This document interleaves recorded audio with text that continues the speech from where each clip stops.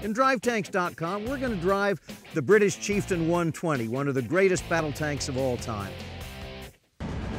DriveTanks.com is brought to you by Black Hills Ammunition. During the Cold War, one of the most dangerous threats faced by NATO forces in Europe was the large number of mass Soviet armor that lay to the east. Now, NATO had a, a, number of tanks, but they couldn't match the sheer volume that the Soviets put out.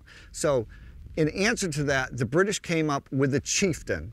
The Chieftain was a very, very good tank at the time. It was actually the big dog on the block thanks to its 120 millimeter gun, which was very hard hitting, wasn't it, Riley? Yes, so it's a British L11A5 120 millimeter main gun. It's extremely powerful, had a very wide variety of rounds it could fire like the high explosive squash head, the uh, armor piercing um, discarding sabot rounds and high explosive normal and things like that. Okay, so what that 120 gave this tank was the ability to penetrate Russian armor at very long ranges. The Chieftain, though, wasn't just simply a, a one-trick pony. It also had some really heavy armor, didn't it? Yeah, so the uh, front glacis plate is actually 120 millimeters at a 70 degree slope, so about 4.1 inches thick, but it had a very high deflection possibility. It pretty much increased the effectiveness of the armor by about almost 60%. Okay, so it was had a really thick skin, which improved the crew survivability.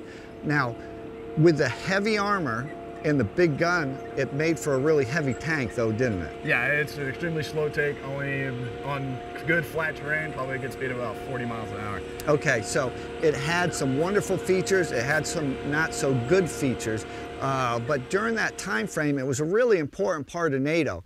Uh, those Chieftain tanks were very highly regarded and um, it played a key role in the defense of NATO. Now, they didn't actually see use because the Russians never came across that line, but they did see extensive use in the Iran-Iraq war where Iranian uh, chieftains went up against uh, Saddam's armor. Okay, so tell me this, Riley.